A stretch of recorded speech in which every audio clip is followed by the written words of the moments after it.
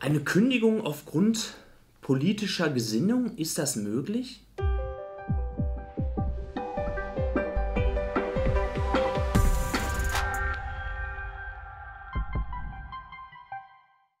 Nein, liebe Zuhörerinnen und Zuhörer, das geht nicht.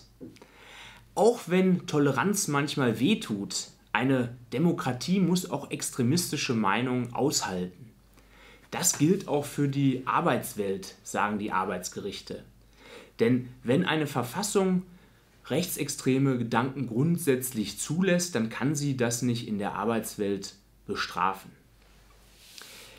Anders sieht das jedoch aus, wenn die rechtsextreme Gesinnung auch auf das Arbeitsverhältnis Rückschlüsse zulässt. So hat zum Beispiel ein Arbeitsgericht entschieden, dass ein Lehrer, der in einer rechten Partei tätig war und in seiner Freizeit offenkundig gegen demokratische Grundwerte hetzte, diese aber wiederum in seinem Unterricht den Schülern vermitteln sollte, gesagt, das passt nicht zusammen. Hier darf das Arbeitsverhältnis aufgelöst, gekündigt werden aufgrund dieser politischen Einstellung. Das hat Auswirkungen auf das Arbeitsverhältnis.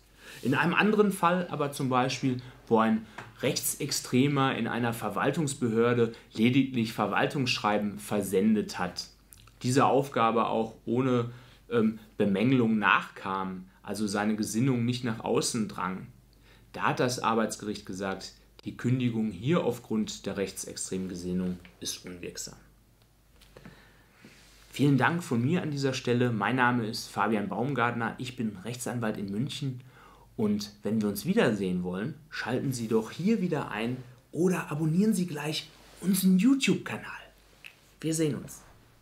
Hat's dir gefallen? Super. Dann sieh dir doch auch dieses Video an, das speziell für dich ausgesucht wurde.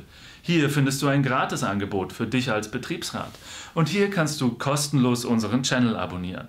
Wir freuen uns auf dich. Sei beim nächsten Mal wieder dabei.